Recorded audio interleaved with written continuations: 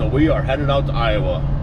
We uh, found ourselves a 4024, nice little single axle Peterbilt 335. Um, been looking for a few months trying to find one. The business is growing, and with that means we need more iron, more employees, and uh, this is the step in the right direction. So I found, especially lately, um, I've been running into a lot. My current heavy, we do so much out of state towing that my current heavy, when it's gone and it's 10 hours from home, and then we get a local call, I'm missing that call. I'm either recommending it to another local towing service that we're friends with, or the people are waiting. We've had cases that they'll just leave the trucks in a, in a parking lot for you know, a day until we can get there. But I don't like being able to do that. We've been able to grow this so rapidly, so fast. Um, not just because, because of our experience, but because we try to provide a very high quality of service. Um, when when people call, we drop. That's just how we operate. It doesn't matter time of day, what it is, where it is, where it's going. That's just kind of how I've built this structured this. And with that comes obviously some problems, and this being one of them. So, I found this truck out here in Iowa. It's about 10 hours from home. Uh, so far, in the Facebook photos and everything he has sent me, texted me over, um, looks to be a great mechanically sound truck. He sent me all the receipts. Um, needs a little bit of cosmetic love, but uh, cosmetic stuff doesn't scare me. We can make any trucks look pretty. So, we're gonna head out. We should get to his place. We're in Elkhart, Elkhart, Indiana right now. Um, we should get to their place around 1 a.m. Uh, get a hotel room, sleep for a couple hours, get up in the morning, check her out, write him a check, and hopefully head home. So, see you in the morning. All right, we are loaded up on our way home. We just stopped at a rest area. Uh, get a good shot of the truck here. Here she is. It's an 06 Pete 335. Uh, we'll figure out how to blur his name out here. 4024 single axle. Towing the old rig home. This is uh, super exciting. This is gonna be a great little addition to the fleet. Um, I've wanted one of these trucks for probably 10 fucking years. Well, we're home. We're getting her stripped. Uh, we stopped by the Streak and Beacon on the way home. Got it completely degreased. Brought it home, kind of checked it over, seen what we're working with. Next is we're uh, stripped all the decals off it. Uh, the graphic shop is coming next week to get it wrapped, get everything up going on it. Um, got all the gear, rigging, chains, tools, got all that ordered for it, so that should be here in the next week or so. The goal is hopefully within about two weeks here, she'll be completely on the road, ready to go. So what we're doing today is, I got all the decals ripped off last night. Um, they were reflective decals, so if anybody of you, anybody has taken off reflective, they know that there's all this lovely glue left on. So that's the goal today. We're gonna try getting all this glue off. Um, we use a 3M adhesive remover. Works great. Spray it on there. Take your trusty Loves rewards card. Scrape off the glue. Go through, wipe it all off. Goal is today is we're gonna get all the stickers, glue, everything done, and then I'm gonna try getting it buffed. Um, I wanna buff the entire thing hopefully here this weekend yet. I got to leave for South Carolina tomorrow. I am picking up a uh, well drilling truck for a customer. So, yeah, just try to get after it and try to have her done for the graphic guys next week.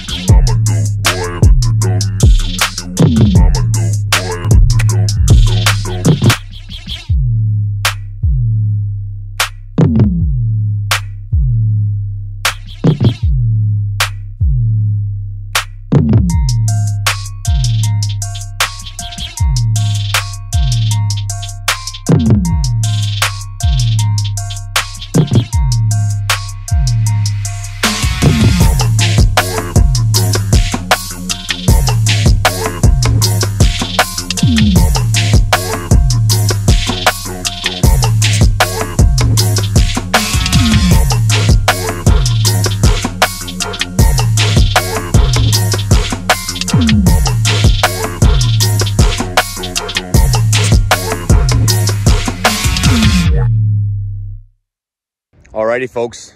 Here she is all finished up.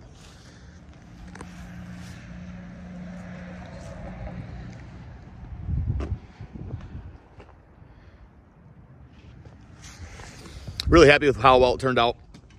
Uh, we've actually had it in the fleet now in service for a couple months. Uh, it's been a huge, huge asset to us. Um, we do a shit ton of out-of-state towing, long-distance towing, and we use the 5230 doing all the long-distance stuff.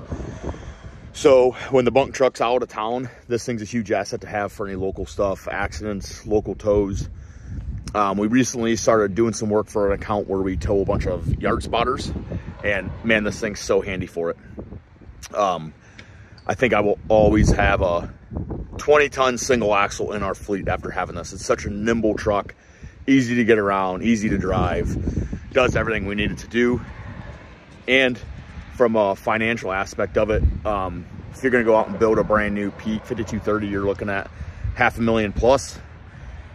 You can be in a brand new 52 or a 5024, a 20 ton for three, 350, give or take, depending on what chassis and you can put it on. So from a financial standpoint, it's it's huge because in my head, why why go wear out uh, a half a million dollars for what a three hundred thousand dollar truck can do? But yeah, it turned out great. Um, the people that do our graphics and everything, they, they really crushed on this one. I had them make uh, some custom Keller built logos. I might have to flip the camera around, show you guys. Um, yeah, all in all, love the way the truck turned out. Um, let us know in the comments what you guys think of it, how you guys like it, how you like the graphics. Um, if you guys got any questions. But yeah, be sure to like and subscribe. Thanks.